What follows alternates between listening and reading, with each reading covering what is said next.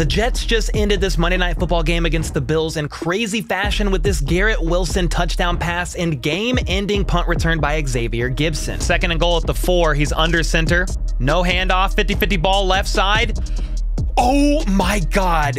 Garrett Wilson with one of the best touchdown catches I have seen in a minute. Wilson reaches across this way and bobbles it multiple times on the way to the ground and catches it. Insane. Fourth and 12, punt is up. Gonna be Jets ball.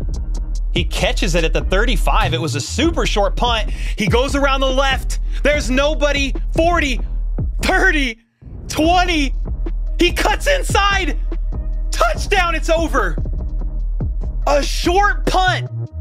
Rookie takes it all the way home. Wow.